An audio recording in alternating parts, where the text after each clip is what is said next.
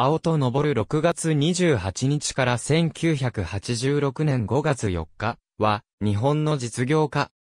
元参院放送社長。父は、元米子信用金庫会長、青戸喜三郎。弟は、元米子信用金庫会長青戸淳。鳥取県米子市出身。米子中学校を経て、1945年京都、大学工学部卒業。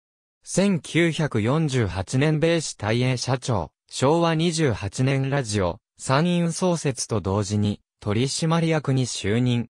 1955年常務取締役を経て昭和49年参院放送社長に就任。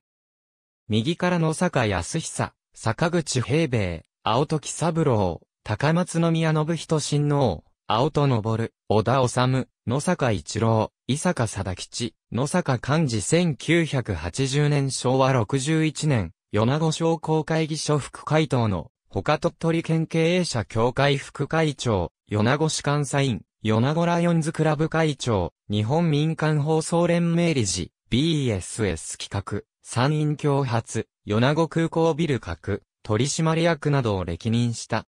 1981年ランジ報賞を受賞。1986年5月4日死去。1949年、青と昇、松本など10名ばかりが集まって、味噌次会が結成された。味噌次会の集合場所は万能町の三高層。